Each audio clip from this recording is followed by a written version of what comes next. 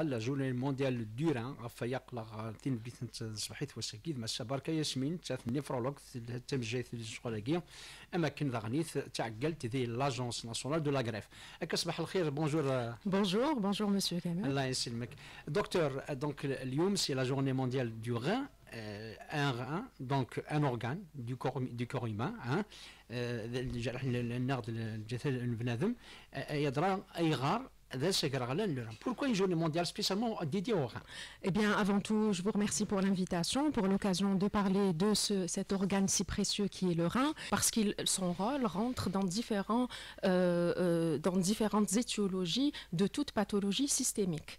Mhm. Donc, euh, il est souvent accusé à tort parfois, mais en tous les cas, son premier rôle le plus important, c'est la filtration des déchets. Donc, chaque organe dans notre organisme, en fabriquant en utilisant euh, de l'énergie, en faisant leur fonction, fabrique parfois des déchets et c'est le rôle de rein de les éliminer. Il est là pour euh, l'équilibre hydroélectrolytique, donc tout ce qui est liquide, il est là pour éliminer le surplus. Et il a un rôle aussi hormonal, érythropoïétine dans la maturation des globules rouges et dans l'équilibre de la tension artérielle. Donc euh, maintenant, il joue un grand rôle. Et puis, le problème avec le rein, pourquoi une journée particulièrement parce que, parce que justement les signes de la pathologie rénale, parfois elles sont insidieuses. Donc on est là pour favoriser la prévention. Comment faire la prévention? C'est le dépistage le plus précocement possible. Donc on, voudrait sensibiliser les gens qui ont déjà des pathologies, particulièrement le diabétique, qui est l'étiologie euh, première en Algérie de l'insuffisance rénale. Donc euh, les gens diabétiques, on leur demande d'aller consulter, de voir, de demander à leur médecin d'avoir de, de, un petit aperçu sur le rein. De toutes les manières, tout mhm. simplement faire un bilan sanguin urinaire le plus régulièrement possible.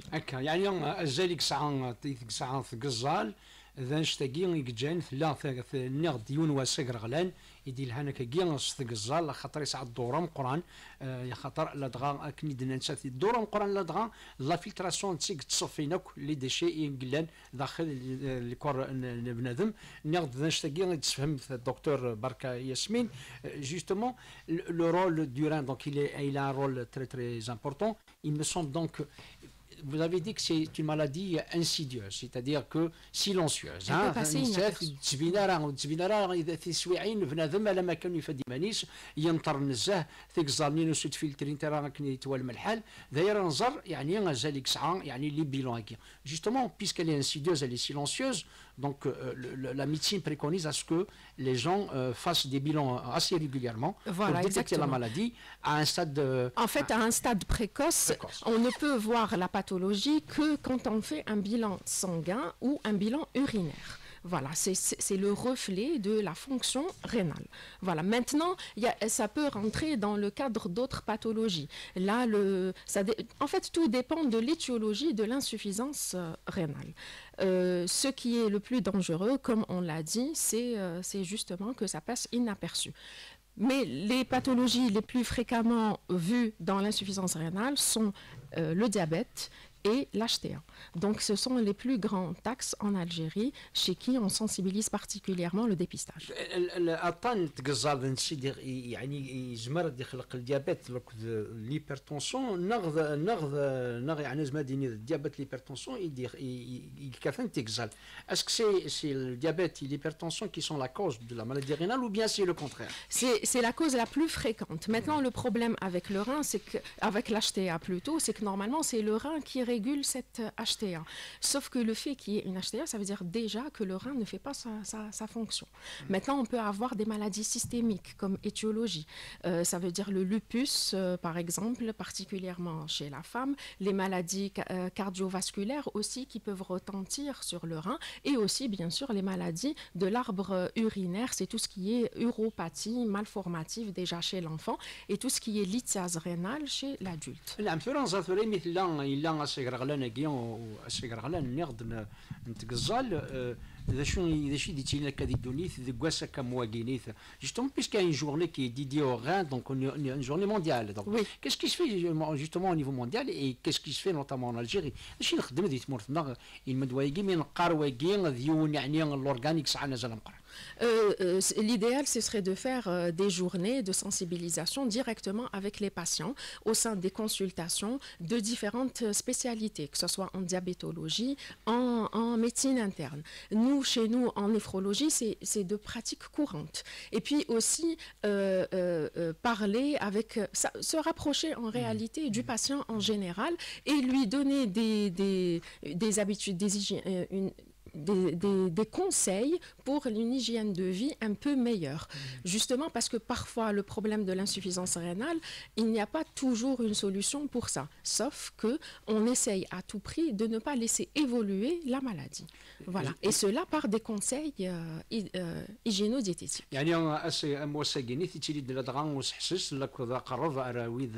يعني ري مثلا هو كان زرنا ذا شنو ذا شو ذا ذا شتاكي جوستومون ذا كينيت لا سونسيبيليزاسيون. اسك لاجونس ناسيونال دو لا غريف اسك الفي جوستومون بوكو دو سونسيبيليزاسيون سكي تيري داك واش حس عطاس مي ذا طاني يعني يقعرن يعني بعد شر ما يلا يون Euh, en fait, le, rôle de l'Agence nationale est pour la greffe euh, d'organes. Maintenant, l'une des solutions. Maintenant, une fois qu'on a l'insuffisance rénale au stade terminal, voire pré-terminal, qu'est-ce qu'on propose en Algérie? Euh, en premier, on a l'hémodialyse et on a la dialyse péritonéale. Mais la vraie solution pour les insuffisants rénaux terminales, c'est justement la greffe rénale, chose qui se fait en Algérie, et ça depuis 1986, faudra le préciser. Il y a eu un renouveau dans les années 2000, mais actuellement, on a atteint une certaine vitesse de croisière dans la greffe rénale. L'Agence nationale de greffe, justement, est là pour promouvoir le rein à partir de donneurs euh, vivants apparentés, d'ailleurs par décret euh, euh, de loi. Et aussi, on travaille d'arrache-pied pour relancer, pour lancer et relancer. Je dis relancer parce qu'il y a eu déjà des cas de, de, de greffe à partir de donneurs cadavériques, plus exactement en, mort, en état de mort هاد المغال encéphalique. نعم هاد المغال المسألة تاع يعني التفاصيل نظر يعني لا القمة كي لا كريفا كي مي كي ديتي لي ولا دغا مي كي يعني دا شو دا شي اللي بورني تسمى كاع هاد المغال التفاصيل واش تاكي ولا معناه بغا غادي تزوارا الزراغ شحال تيكال اموضين ام يعني ذيك واش من الحالة دي دي دي في مانيس جاتي مجاين Et dans quel état, comment il se présente le patient Dans quel état, quand est-ce qu'il se rend compte qu'il est atteint d'une insuffisance rénale Bon, alors quand il est euh, quand il se rend compte de l'atteinte, alors on a des stades, des- une classification pour l'insuffisance rénale. Alors à un stade terminal, voire à un stade pré-terminal, lorsqu'on propose aux patients euh, euh, la greffe, euh, lorsqu'on propose aux patients l'épuration extra-rénale, là à un stade pré-terminal ou terminal, on peut proposer la greffe rénale. Donc là, il s'approche, le patient se rapproche des centres euh, agréés par l'ANG pour la greffe rénale. Non, avant, avant de parler de la greffe, Oui. الطرق يعني آه، quand est-ce qu'il se rend compte, le malade? Quand est-ce qu'il Euh, se rend en fait, c'est des signes généraux avancés. Le patient se, se présente dans un tableau de on vomissement. parle de, de- de ce qu'on appelle euh, les, les- les gens n'ont pas ce réflexe de, de- faire des bilans assez régulièrement. Exactement. Donc, et- et généralement, à un stade oui. assez avancé. Le problème, c'est ça. Quand on a les signes d'insuffisance rénale, c'est déjà un stade vraiment avancé, voire terminal. Alors, le patient voit- vient avec une fatigue intense. Il consulte carrément aux urgences. hein. Dans le cadre d'une fatigue intense, nausées, vomissements, céphalées, parfois à un stade tellement avancé qu'il présente même des signes cutanés type de démangeaison, des douleurs osseuses, parce qu'il faut savoir que le rein, non seulement il ne fonctionne pas, mais le fait qu'il ne fonctionne pas correctement retentit sur les autres organes. Il peut entraîner une anémie, il peut entraîner une, esté- euh, une ostéodystrophie euh, euh, des maladies, des troubles phosphocalciques, donc, et des troubles de l'HTA aussi. Donc euh, voilà, donc c'est un, un, stade vraiment avancé que parfois on retrouve le patient soit amené à consulter. Donc euh, là, à ce moment-là, on n'a pas grand-chose à lui proposer vu qu'il est déjà en terminale ou en pré-terminale. Mais heureusement, de nos jours, il y a la greffe qui justement euh, améliore l'hygiène de vie.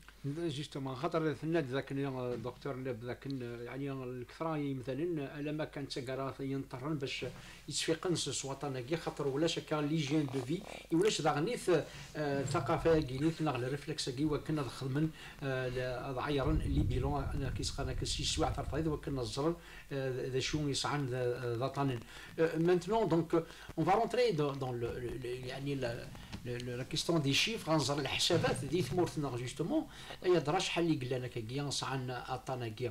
En matière de chiffres, justement, on a comptabilisé combien d'insuffisants rénaux en Algérie Alors, Et, et l'évolution aussi annuelle. Comment se fait l'évolution Alors, le recensement exact des insuffisants rénaux n'est pas n'est pas très bien codifié parce qu'on a des insuffisants rénales. Déjà, le fait qu'ils ne consultent pas régulièrement, le fait qu'ils passent insidieusement, on ne peut pas avoir un chiffre exact. Et puis, ça, touche différentes spécialités. Euh, il y a des diabétologues qui suivent les insuffisants rénaux, il y a des, des internistes qui les suivent, il y a des généralistes et bien sûr les néphrologues. Maintenant, le chiffre exact, c'est plutôt quand le patient arrive au centre d'hémodialyse. Là, on a un recensement bien précis et on est malheureusement de l'ordre de 25 000, un peu plus de 25 000 hémodialysés en Algérie. Donc euh, à peu près c'est une moyenne de 3 000 nouveaux, euh, nouveaux, cas. Euh, nouveaux cas entre 2 000 et 3 000, tout dépend des années. Maintenant, on a avec l'avènement du Covid, on a remarqué un tropisme particulièrement du Covid vers le rein. On a, mais, mais là, on rentre dans le cadre des insuffisants rénaux aigus. On espère toujours qu'il y, y ait une amélioration, mais parfois ça bascule dans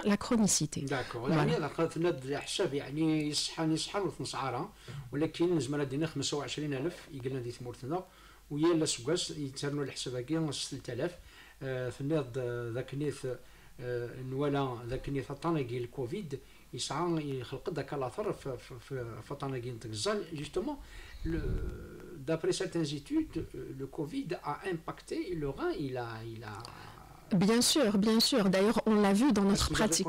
Bien sûr.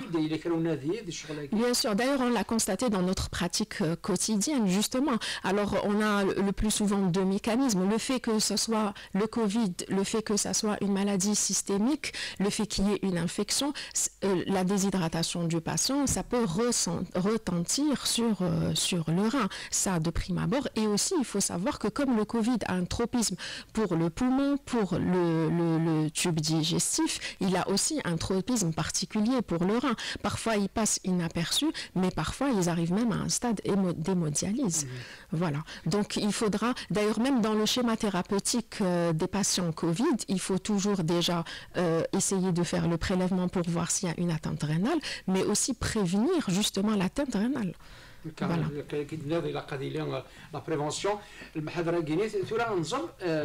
La prévention, نمشي ديتيلي ويعني ونستكفل الموضوع كومون سو في لا بريز ان شارج جوستومون دان انسوفيزون رينال en Algérie.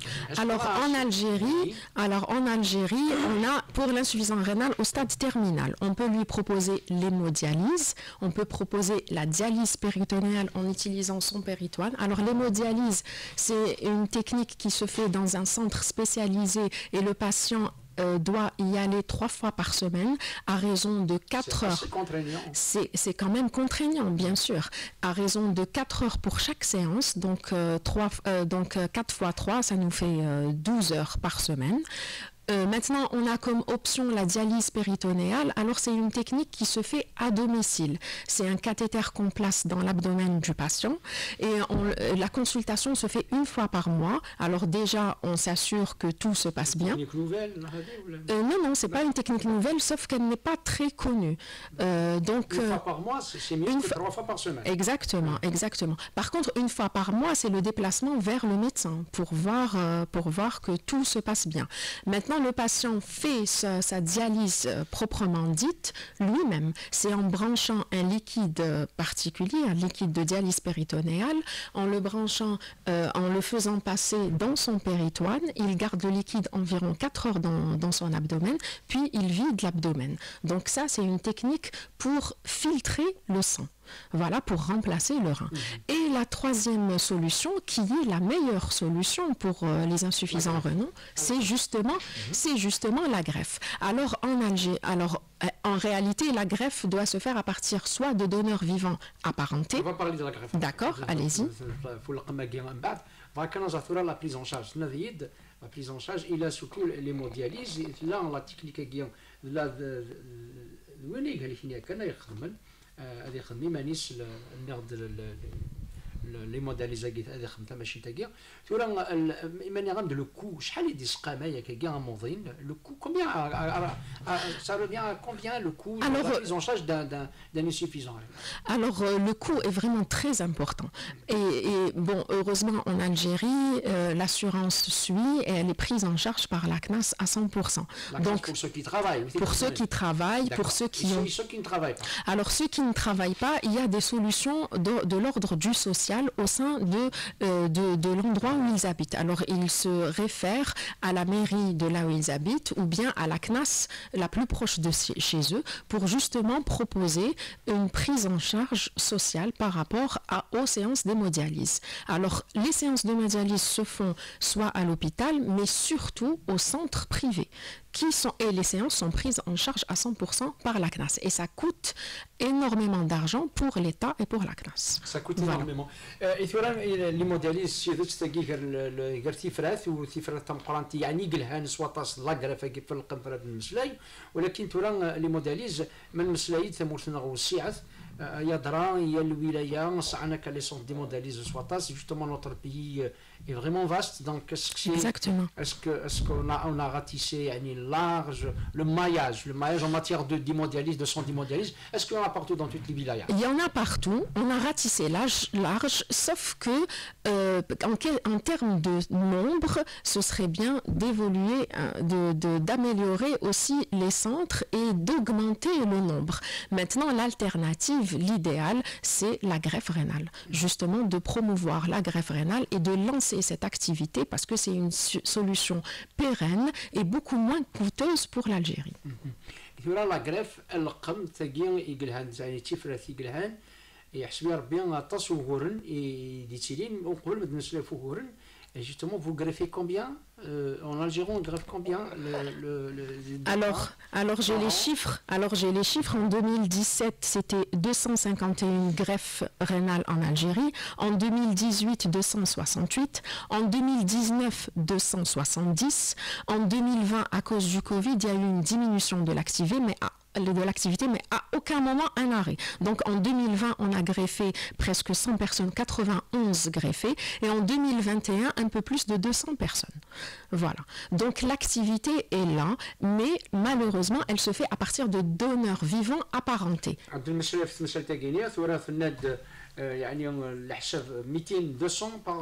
En moyenne, c'est 200, exactement. Justement, 200 par rapport aux malades.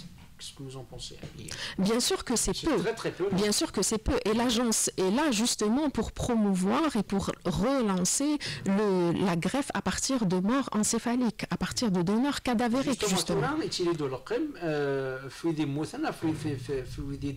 justement la greffe, c'est à partir actuellement les 200 greffes, par exemple, oui. elles ont été faites à partir de vivants ou bien à partir de... À partir de vivants. À partir de des vivants. Maintenant, quand on dit 200 en moyenne, il faut savoir que ce sont 200 greffes, donc en réalité, 400, c'est le double. C'est pour chaque greffe, pour chaque nombre, c'est deux, euh, deux interventions chirurgicales. Parce qu'il faut l'intervention du prélèvement du rein euh, euh, du, à partir, à partir du donneur, puis on va greffer euh, chez le receveur. Donc quand on dit 200 greffés, en réalité c'est 400.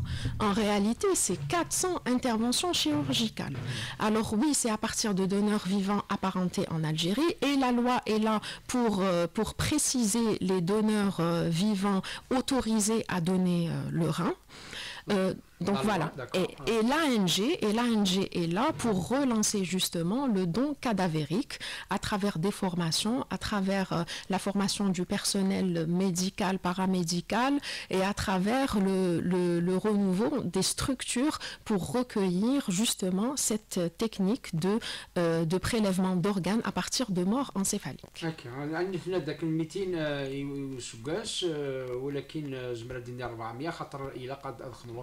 وين؟ وفرا ديك السنة كنيت في ثورا الكثرة ديك السنة دوي كيكلانا كي يعني درن ثورا أسوي لاجونس كينيا لا غراف كن تكس سويد يموتن.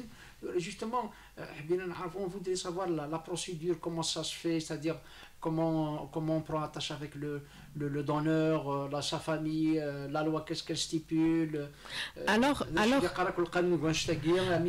alors voilà, là, là on parle du rôle de l'agence nationale. Alors l'agence doit avoir une liste de receveurs potentiels pour les donneurs à partir de morts encéphaliques et un registre de refus. Alors la loi va du principe que c'est un consentement présumé de toute personne au sein, euh, au sein de la population générale. Donc une personne, après sa mort, son, son décès, elle est censée être donneuse potentielle. On est d'accord jusque-là. Maintenant, si la personne de son vivant exprime le fait de ne pas vouloir être donneur, là, on a ce qu'on appelle, ce qui est effectif depuis, euh, euh, environ une année, on, appelle ça le registre de refus.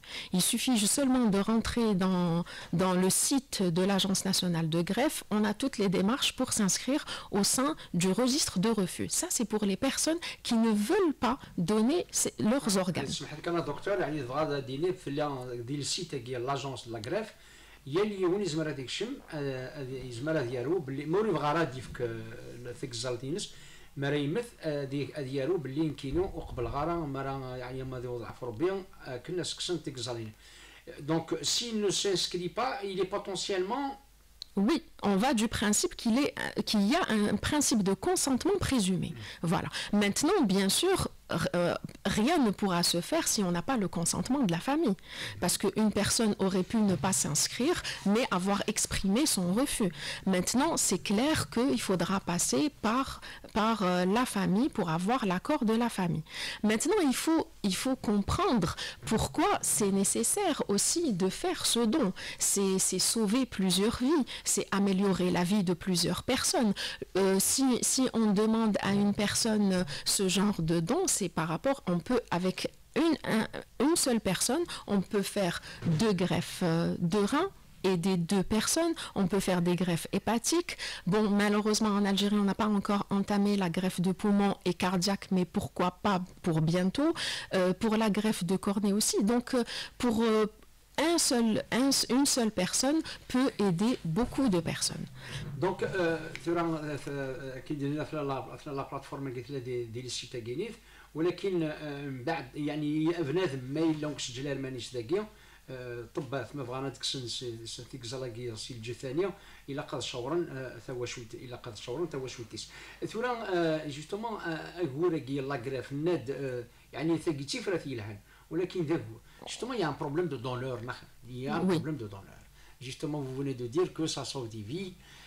Il me semble qu'il y a peu de sensibilisation et d'information à propos, juste déjà à propos de, du registre de refus, c'est pas tout le monde qui est au courant du registre de refus. Moi-même, je viens de l'apprendre. Oui. Donc, euh, il faudrait, je pense, beaucoup plus de... Bien sûr, bien sûr. Hein? bien sûr, oui, vous avez bien raison. Alors, l'Agence nationale est là pour ça. Justement, maintenant, on va faire différentes actions pour promouvoir euh, le registre de refus, pour promouvoir le don à partir de morts encéphaliques, pour euh, justement régler et, et lancer correctement cette activité qui est nécessaire, vu le nombre démodialisés, vu le nombre des patients en attente de greffe, elle est nécessaire pour euh, aider la santé en Algérie, particulièrement ces malades-là, qui sont euh, malheureusement un problème déjà pour eux-mêmes par rapport à leur hygiène de vie, à leur qualité de vie et aussi, euh, par rapport à leur entourage.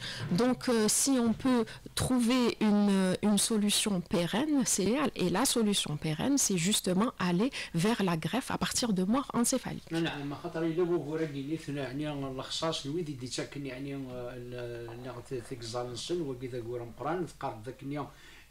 بورتون يعني ساعه زعما نقرا يوكن يوكن يعني هاد الحركة ويجي قهلي فينا كي قهلي عطانا كينيف وتورا لاجونس كينيف لا غريف تخد الدورة كي يتورا تورا غير وغورن يعني وين يوالا غنكي غير وغورن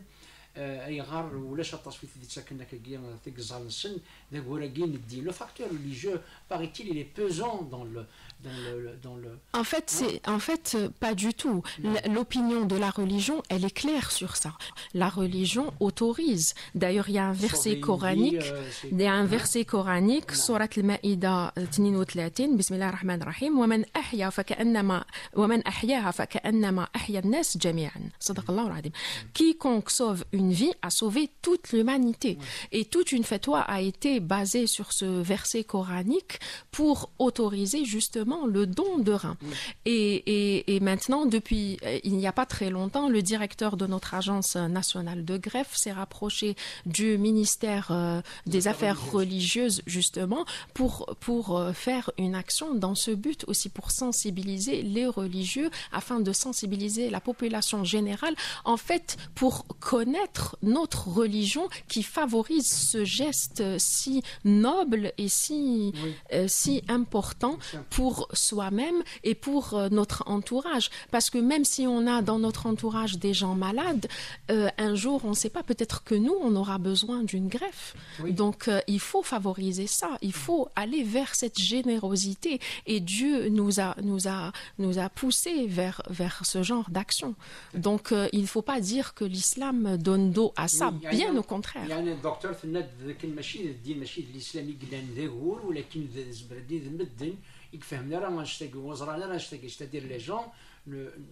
justement, ils ne sont pas sensibilisés par rapport à ce que dit la religion à propos de, de, Exactement. C'est ça le problème. C'est pas, le problème ne se passe pas, euh, c'est-à-dire, euh, le problème ne se passe pas pas du tout. De, religion exactement. Pas du tout, bien au contraire. bien c'est pour ça, c'est-à-dire, وين نمهل الوكلاء نغد نلقم دي ثمورتنا يعني يخدم هكا لك وغليف الدين ايوا كان حسن لي زيمامي قلنا ديال الجوامع ايوا كان تفهمني مدن باللي أنشتاقي أو كونترير الفايدة راه ديف يعني عندنا نصوب الأرواح. ناخذ ثورا justement, euh, le, le, travail de sensibilisation, donc il se fait, on peut dire qu'il se fait quotidiennement. Il se, il se fait quotidiennement. Il, il, se fait quotidiennement. Est-ce que, est oui. est -ce que, vous, justement, vous constatez qu'il y a quand même cette réticence des Algériens par rapport En fait, la réticence existe par, euh, par méconnaissance de la...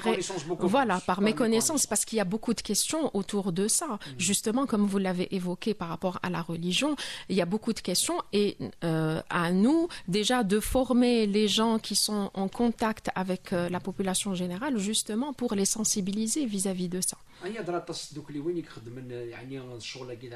Est-ce qu'il y a un mouvement associatif qui, qui, qui prend le relais, qui travaille avec Juste, oui, euh, alors l'ANG a comme prérogative aussi de se rapprocher des mouvements associatifs, qu'elles soient estudiantines ou, ou bien par rapport aux patients en général, justement pour sensibiliser les gens. Maintenant, oui, euh, on a évoqué euh, notre, Inch'Allah, prochaine collaboration avec le ministère des Affaires religieuses. Dans ce but encore, on va aussi sensibiliser les professionnels de la santé pour, pour déjà les sensibiliser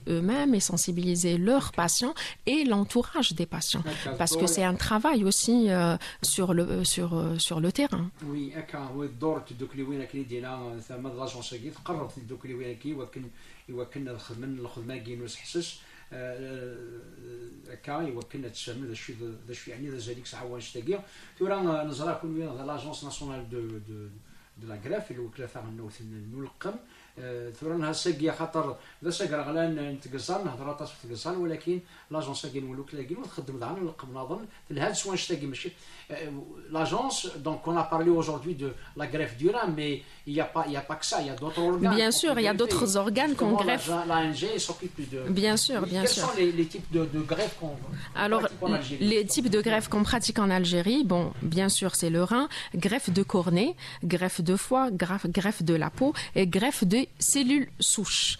Alors, euh, alors pour, euh, pour l'année 2020, on a greffé euh, 315 euh, greffes de cellules souches.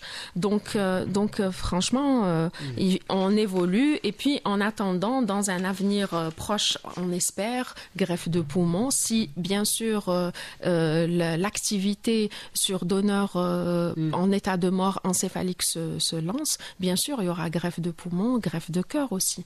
Donc, Donc, euh, on est là, euh, Mhm. on va entamer toute une activité pour renforcer et tout faire pour que les structures soient là.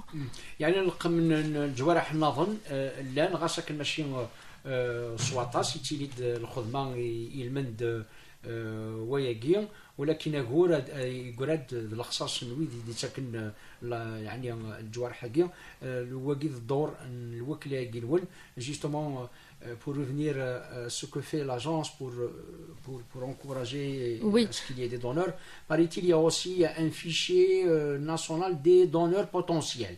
Des donneurs potentiels. J'ai pas compris qu'est-ce que c'est. Non, en fait, on a dit tout est, toute personne est donneur éventuel. Alors pour les donneurs vivants, bah, c'est clair, ils se rapprochent par rapport à la pathologie de, de leurs parents.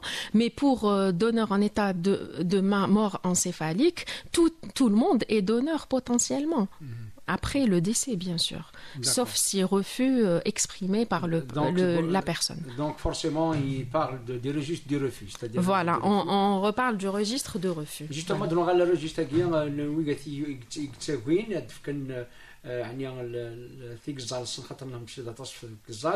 euh, il y a beaucoup qui s'inscrivent euh, non, pas beaucoup. Heureusement, l'Algérien en général, il est généreux. ça dépend, soit il est généreux, soit il y a manque d'informations. Peut-être, oui, peut-être. C'est vrai, c'est vrai. Euh, docteur, donc je vous laisse terminer cet entretien et à propos de la journée ou bien à propos de, de, Justement. l'agence. euh, Justement, il ne faut pas oublier qu'aujourd'hui, c'est la journée mondiale de rein. Là, euh, il faut sensibiliser les gens vers, euh, par rapport à- à- au dépistage de toute pathologie rénale. Ne pas hésiter à faire des bilans sanguins et urinaires, surtout pour les malades qui, qui sont déjà suivis, pour, toute, euh, pour euh, le diabète, pour HTA et pour toute autre maladie systémique. Et il faut que, que, en général, on apprenne à s'occuper de soi et aller regarder ce qui se passe dans notre santé, faire un bilan, pourquoi pas un check-up euh, régulièrement pour voir l'état de notre organisme. Notre organisme. Et bien sûr, garder une hygiène de vie la plus parfaite possible, faire une activité euh, Sportive. sportive, euh, voilà. Manger sainement. Manger sainement, éviter toute source de stress, même si ce n'est pas évident, apprendre à réguler les choses. هكا سادير دكتور في النادي لاقي نسعون تلقى فيا نتعير ونسينا مش يعني الماكله ذا شو رناتش لوك داغني السبور هكيا ترادني كان باللي مر نوالي عطانا كي الكوفيد ثاني نقص طاس لأن سبيطارات الهند طاس سوا شتاكيني طاس وطن الجان تمز مراديني مام عطانا يعني نتقزال الجان تما شما تونس مراديني الحال يعني مثلا كل سيرفيس اللي نخدم لك نيتوال من الحال اون بو دير كو لا ديكري كونستاتي أو نيفو دي كوفيد دي شيف دان دي كوفيد on peut dire que ça va favoriser aussi la reprise de, euh, de l'activité, quoi qu'on ne s'est jamais arrêté. Hein, l'activité Bien sûr, elle s'est jamais de la arrêtée. prise en charge des maladies, des maladies rénales. C'est ça. docteur, hein? Exactement, exactement. À aucun moment on a arrêté. Ça a peut-être ralenti, mais ça ça nous a pas arrêté. Et maintenant, en espérant que ce Covid, on n'entend- on n'entende Oui. plus parler, Inch'Allah, ça sera de mieux en mieux. Maintenant, le Covid, ce qui a appris à la médecine en général, c'est de ne pas proposer que de la médecine curative, c'est d'aller vers la médecine préventive, justement pour éviter ce genre de pandémie. ذاك كنتو راه عينين ناخذ ما لا بريزون شارج وي قال لك انك كاع تانيكو والحبيس راه والحبيس راه ولكن تنقص سوا تانيكيت ورا يميتون على الحاله نسلم ذاك يعني غاتي لا بريزون شارج كني توال المحل يقوضلن اكل الناس كي يعني ثقار ومسلاينا غادي لك الدكتور ياسمين بركه ياسمين ثاني مرتم قرانت لنا غادي ميث كذا كذا تقول لنا ميرسي بوكو دكتور ميرسي بور لانفيتاسيون